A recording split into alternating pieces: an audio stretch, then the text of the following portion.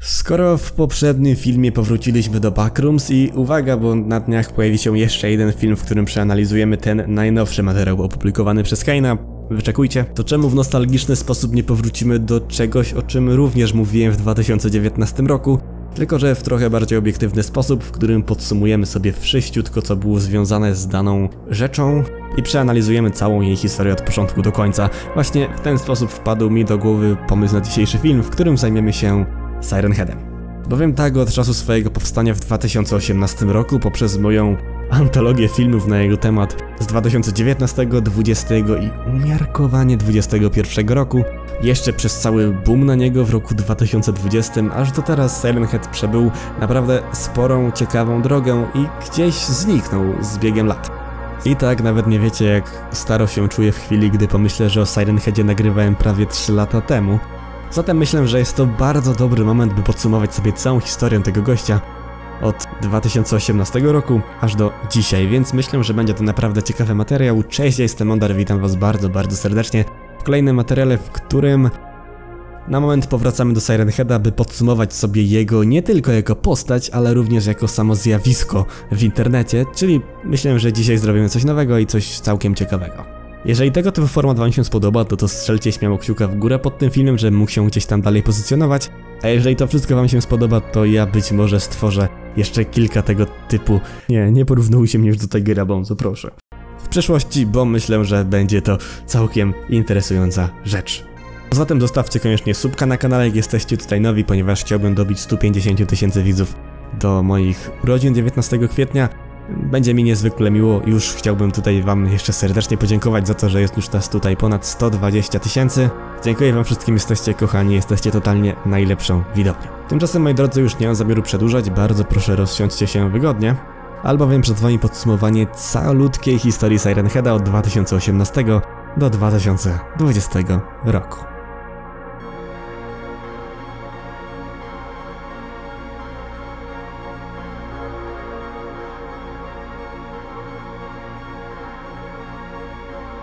Historia Siren Heada swój początek ma 19 sierpnia 2018 roku, kiedy to narodził się zupełnie nowy mesjasz e, creepypasty internetowej, a zarazem Slenderman 2019 i 2020 roku. Niejaki...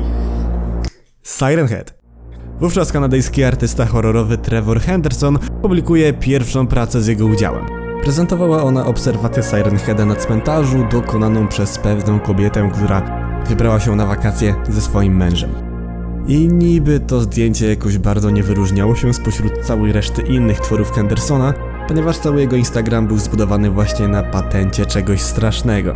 Aczkolwiek wkrótce później Siren Head zaczął powracać w coraz to kolejnych pracach, a wokół niego powstało całkiem interesujące lore, które wyjaśnia w innych filmach. Henderson informował o kolejnych obserwacjach Siren Heada na przestrzeni kolejnych lat, a wyróżnić z tego wszystkiego możemy kilka interesujących opowieści, takich jak wspomniana obserwacja na cmentarzu, obserwacja pochodząca z 1966 roku, kiedy to Siren Head został zauważony na pustyni w Arizonie, czy incydent z 16 lipca 1995 roku, związany nie tylko z obserwacją Siren Heada, a także z zaginięciem bądź morderstwem kilkorga nastolatków. Wspomniano również o zaginięciu w Crudson w stanie Indiana. I oczywiście historii tego pokroju było znacznie więcej, bo Henderson cały czas dolewał oliwy do ognia, publikując nowe zdjęcia, także nowe historie i tym podobne, by fani byli coraz bardziej tym wszystkim zainteresowani. Jednak dlaczego? Wszystkie te doniesienia kreowały nam postać przerażającego stwora, którego powinniśmy się bać. Czegoś na wzór Slendermana właśnie groźnej kreatury odpowiedzialnej za zaginięcia ludzi, dzieci, czy nawet domniemane morderstwa. I w tym momencie, skoro już zahaczamy o aż tak mroczne tematy, nie, Siren Head nie jest prawdziwe. I zanim przejdziemy do ważniejszych rzeczy w tym odcinku, muszę to zaznaczyć, ponieważ do czynienia mamy tylko i wyłącznie ze sztuką. To powiedziawszy, pora zabrać się do rzeczy i raz jeszcze przeanalizować postać Siren Heada od deski do deski. Prace Hendersona, na których Siren Head był ukazany, prezentowały jego jako 12-metrową kreaturę. E, tak jest, ja wiem, że wiele osób uważa, że Siren Head ma 40 metrów, ale ma 40 stóp wysokości. 40 stóp to 12 metrów. Sam kiedyś popełniłem ten błąd, dlatego w tym momencie muszę się poprawić. Tak więc pamiętajcie o tym. 12 metrów. 40 stóp. 12 metrów.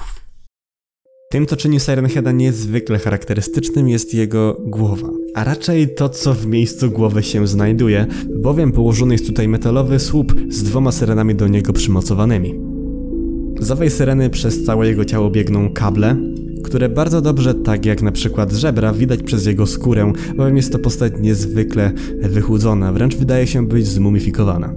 Jego ręce są niezwykle długie i kościste, sięgają do jego kolan. To, o czym jeszcze warto wspomnieć, jest gigantyczny magnetofon, który miałby znajdować się w klatce piersiowej syrenogłowego, jednak jest to jedynie pomysł, który pewnego dnia został spropsowany przez Trevora, a niekoniecznie jest to coś, co faktycznie gdzieś tam istnieje. Co interesujące, Syrenogłowy absolutnie nie pochodzi z naszej rzeczywistości, a przybył tutaj z innego świata. A swoją formą może dowolnie manipulować, zatem tak jak przyznał Henderson pewnego czasu, wygląd Siren Heada, a w szczególności jego głowa różni się w zależności od zeznań świadków. Raz może wyglądać tak, raz tak, raz może być lampę w miejscu głowy, a raz syreny, a raz to, ale uznajmy, że tego nie widzimy. I oczywiście, nim przejdziemy dalej, muszę tutaj zwrócić uwagę na polowania Siren Heada i fakt odtwarzania przez niego, przykładowo odgłosów, no nie wiem, alarmów, tak jest ten słynny sound effect, czy ostatnich myśli bądź słów swoich ofiar i to by było na tyle, bo co do reszty, wy bardzo dobrze znacie resztę, bo poświęciłem temu aż... Czekajcie, muszę policzyć. Trzy... Cztery pięć, no powiedzmy, że sześć filmów, więc zapraszam w razie czego do moich poprzednich materiałów, o ile da się to jeszcze oglądać w tych czasach. Mniej więcej w połowie 2019 roku na temat Siren Heada w środowisku YouTube'owym robić zaczęło się dosyć głośno za sprawą kilku filmów. Jako pierwszy w internecie samą postać i jej historię przeanalizował youtuber znany jako Billy Styler, a sam zrobiłem to kilka miesięcy później. Już wówczas postać poczynała zbierać wokół siebie coraz większą popularność, co z kolei przyczyniło się na powstanie kilku gier z nią związanych, na które chciałbym rzucić okiem i poświęcić im przynajmniej kilka minut. Jak w większości tego typu spraw, kiedy dana straszna postać robi się coraz bardziej popularna, na jej temat powstaje kilka gier, z czego większość jest totalnym głupiem, jednak część jest naprawdę interesująca. I paradoksalnie w mojej opinii jedną z najlepszych gier o Siren Headzie jest ta, która jest zdecydowanie najgorsza. Raczej jedna z najgorszych. Czyli ta stylizowana na tytuł, który powstał jeszcze w erze PSX-a, PlayStation 1 czy coś. I graficznie jest bardzo interesująco, bowiem gra stylistycznie nawiązuje nie tylko do tamtej epoki w dziejach gier, lecz również do powstałych relatywnie niedawno grach od Puppet Combo, które bardzo lubię. No może nie wszystkie, aczkolwiek mają jakiś tam swój urok. Jednocześnie pod względem jakichkolwiek mechanik czy czegoś takiego, to ta gra e, nie imponuje niczym, bo wybierasz się i podchodzisz do Siren Heada tylko po to, żeby po chwili sobie stamtąd pójść, bo zaczyna cię gonić. Pod tym względem to jest krab, ale spokojnie jak na jedną z pierwszych gier, a jak nie pierwszą w ogóle grą na ten temat, było całkiem nieźle, ze względu na stylistykę i jakiś tam ewentualny lore.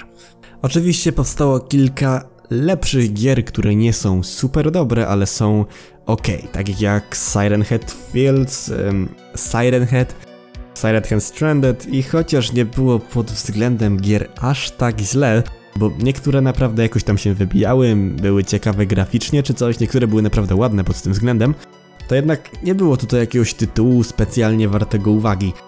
Tutaj ponownie porównam całość do Slendermana, na którego temat powstały w zasadzie dwie interesujące produkcje, z czego jedna jest sequelem do drugiej. Oczywiście po pierwsze Slender The Eight Pages, totalny klasyk, który swoimi oryginalnymi mechanikami zrodził mnóstwo naśladowców i mega gównianych gier o Slendermanie w przyszłości, głównie na telefony. Które były po prostu kopiami The Eight Pages, tylko że ewentualnie gdzieś tam mapa się zmieniała.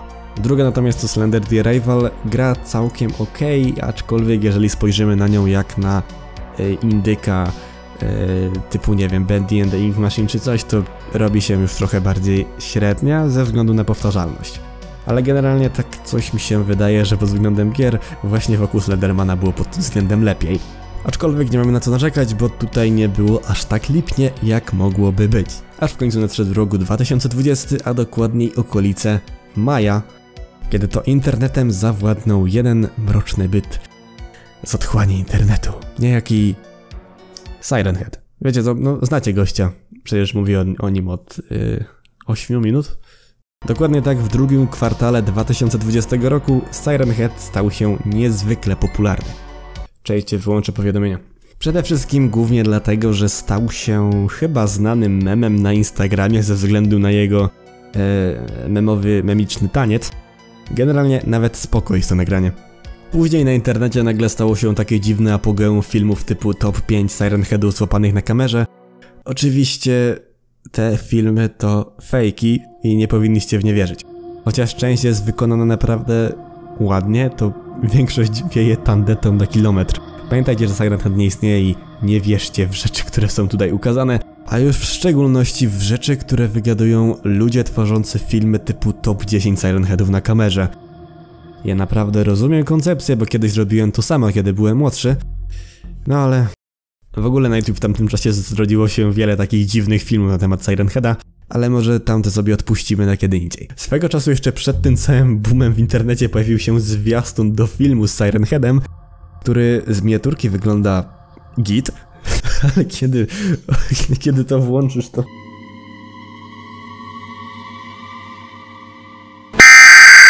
Pamiętam jak memowałem z tego z moimi starymi kolegami z szkoły. Nie, nie, to jest za mocne, nie mogę z tego.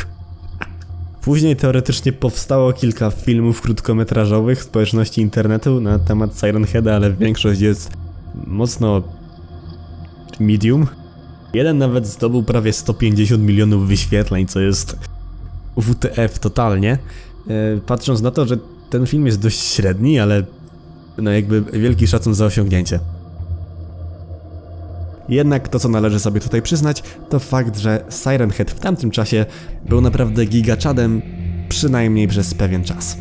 Bowiem z czasem, raczej w szybkim tempie, ten cały hype na Siren Heada opadł. I już druga połowa 2020 roku e, była tak naprawdę bez niego.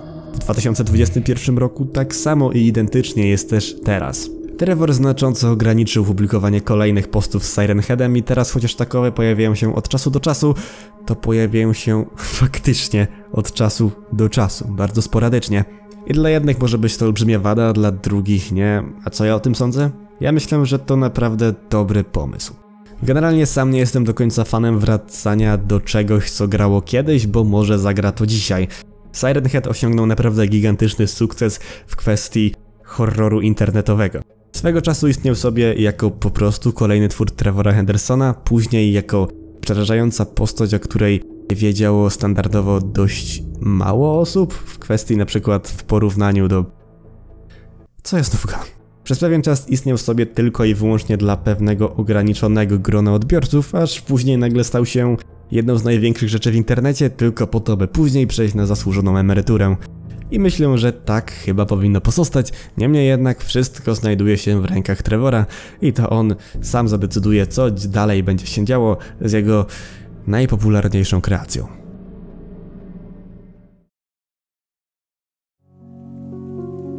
No i to byłoby już na tyle w dzisiejszym materiale. Mam nadzieję, że przypadł Wam do gustu taki nowy format. Jeżeli tak, no to w przyszłości zajmiemy się także innymi kreaturami, nie tylko z internetu, lecz także z jakichś innych mediów. Myślę, że może być to całkiem interesujące, lecz to już zależy od Was i Waszego odbioru tego materiału. Całkiem fajny, mocno grubiutki i maśniutki film wleci na kanał już w ten weekend. Będzie on całkiem długi i dotyczył będzie pewnej bardzo interesującej gry indie. Chyba to jest gra indie, która naprawdę bardzo mnie zainteresowała w ostatnim czasie.